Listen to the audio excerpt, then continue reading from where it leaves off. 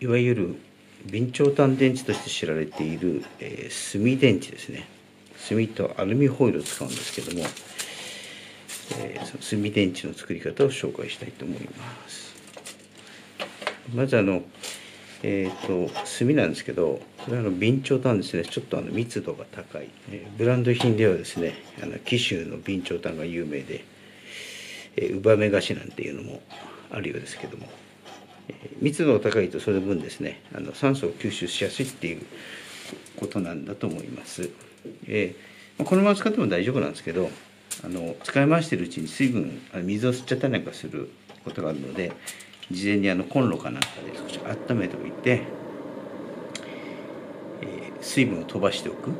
まあ、水分とか、まあ、吸着してる成分ですねを飛ばしておくといいと思います。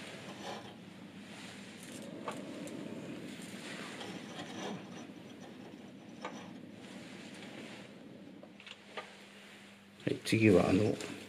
まあ電池の作り方なんですけどあのこの備長炭をですね炭を、えー、炭のあの片方ですね片方に、まあ、これ針金なんですけど電気の通る胴体ですねをつけてこれを接点にしておきます、まあ、炭があのプラス正極になるんですけどね、まあ、そのターミナルにするということですね。ここに電解出力としてペーパータオルをこちらのあの接点の針金に触れないように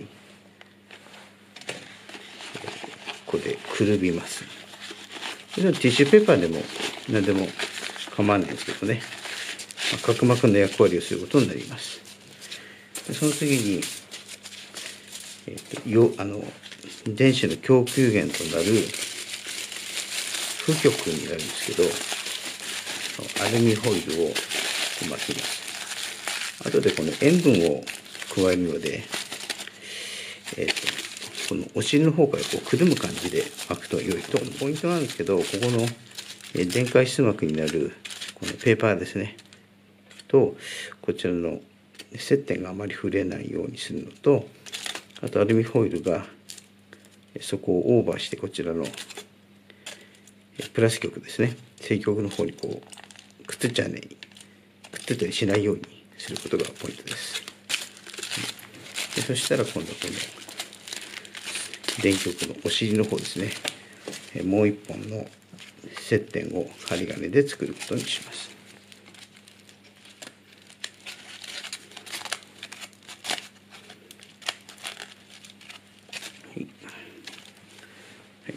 ですかねでこのペーパータオルに食塩水電解質となる食塩水を、伝わらして湿らせることにしますまあ濃い方がいいんでしょうけどあんまり濃いと後でこう洗浄してあの使い回す時にあの洗う時に結構手間がかかるもんですから、まあ、3%から5%ぐらいの使えばいいかなと思います。はい。もう実質あの、電池セルとしてはこんだけなんですけども、はい、ここに、えー、低電圧モーターですね、ソーラーモーターなんですけど、えー、接点につないでみたいと思います。一応赤線ですからね、こちらこちらがプラスで正極で、こうですね。はいもう回り始めました。で回転弱いので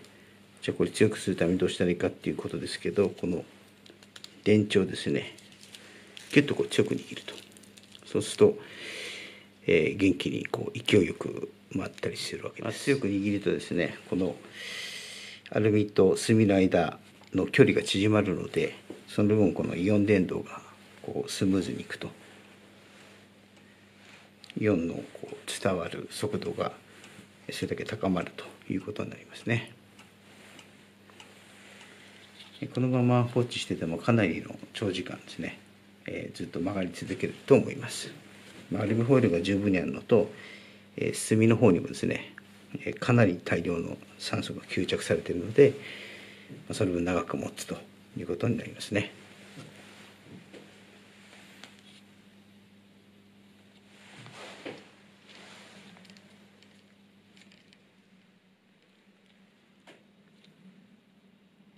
ギニギ電池なんて言い方もあるみたいです。